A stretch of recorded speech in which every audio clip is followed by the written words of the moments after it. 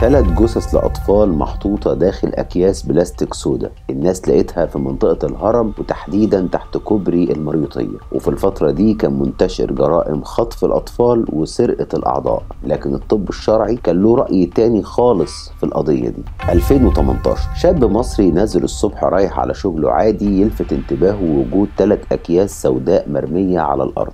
وطالع منهم ريحة كريهة جدا. الشاب ده بيقرب للثلاث أكياس علشان يفتح واحد منهم يلاقي أثار دم وبعدها يفتح التاني يلاقي جثة لطفل ممزق ومشوه المعالم. بسرعة يبلغ الشرطة والأجهزة الأمنية بتتحرك على مكان وجود الثلاث جثث ويتعمل كردون أمني واستدعاء رجال المعمل الجنائي للكشف عن ملابسات الحادثة دي. الأخبار اللي اتقالت عن الجريمة دي في فترة حدوثها من وسائل الإعلام ومن شبكات التواصل الاجتماعي إن الثلاث أطفال أعمارهم السنية تتراوح ما بين أربع سنين لست سنين وإن الأجهزة الأمنية لقت جثثهم ممزقة وإن الأعضاء الداخلية منزوعة علشان الموضوع يتصدر للإعلام في شكل خطف الأطفال وسرقة الأعضاء البشرية اللي كان منتشر في الوقت ده. وفي الفترة دي فعلا كان منتشر مجموعة كبيرة من جرائم خطف الأطفال وسرقة الأعضاء. وعلشان كده كان أي معلومة ممكن تتقال عن الثلاث جثث دول أكيد هتكون مصدقة. الثلاث جثث يتم إرسالهم للطب الشرعي علشان يصدر تقريره ويوضح الأسباب الحقيقية للوفاة. ومن هنا تقريبا كل حاجة اتغيرت تماما. والنتيجة الأولى في التقرير إن الثلاث أطفال دول مش أشقاء. اتنين بس منهم إخوات إنما الثالث ملوش علاقة بيهم وإن أثر الاعتداء ونزع الأعضاء في أجساد الأطفال الثلاثة تم بطريقة غير طبية وغير علمية. وده معناه إن مفيش حد متخصص هو اللي نزع الأعضاء دي من أجساد الأطفال علشان يتم زرعها في جسد إنسان تاني. لأن سرقة الأعضاء في الأساس لازم تتم على إيد خبراء ومتخصصين وأطباء. فتاني اكتشاف في تقرير الطب الشرعي إن كل التشوهات على جسد الأطفال الثلاثة هو تم بشكل عشوائي وغير علمي تماما. واللي كان واضح كمان في تقرير الطب الشرعي إن تم عمل تشويه متعمد في وجه الثلاث أطفال علشان ملامح الثلاث أطفال تكون مختفية ويكون صعب التعرف عليهم.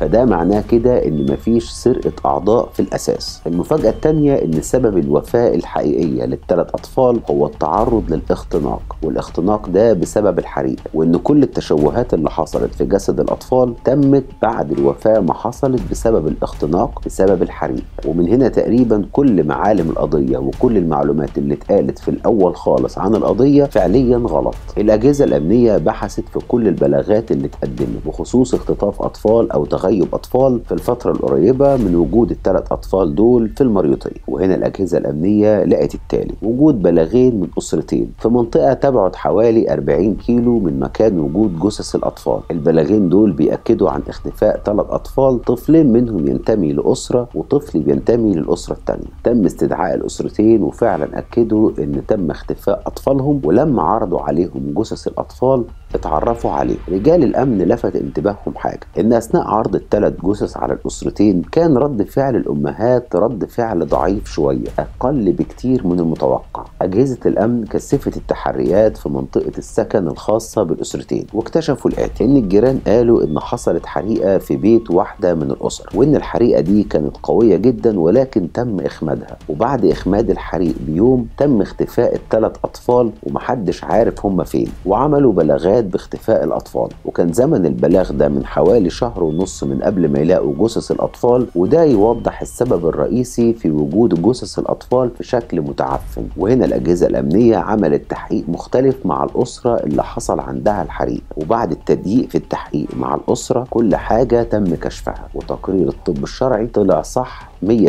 اللي حصلوا باعتراف الأمهات للأسرتين إن هم تركوا الأطفال الثلاثه في بيت الأسرة اللي حصل عندها حريق. وإن الأمهات سابوهم في البيت برغم صغر سنهم. أكبرهم عنده ست سنين وأصغرهم عنده أربع سنين. وسابوا الأطفال في البيت لوحدهم وتاخروا عليهم جدا. في الفترة دي الأطفال كانوا بيلعبوا في الأوضة. وواحد من الأطفال أشعل الحريق ومعرفوش يتصرفوا فظهر دخان كثيف جدا. وبسبب الدخان الكثيف ده الثلاث أطفال توفوا من الاختناق. وفي اللحظة اللي دخان الحريق بدأ يظهر كان الأمهات الاتنين وصلوا للبيت ودخلوا الغرفة بسرعة وحاولوا يخمدوا الحريق. بسرعة لكنهم اكتشفوا إن الثلاث أطفال توفوا وحاولوا ما يدخلوش حد من الجيران خالص البيت وكان عندهم حالة من الخوف والرعب من أزواجهم فقعدوا يفكروا يتصرفوا إزاي. التفكير اللي جه على دماغ الأمهات للأسف إن هم يشوهوا جسد أطفالهم وإن هم يعملوا بعض الجروح على أجسادهم من الخارج وجابوا بعض قطع القماش الكتيرة ولفوا الثلاث جثث في قطع القماش وبعدها حطوهم في كيس بلاستيك أسود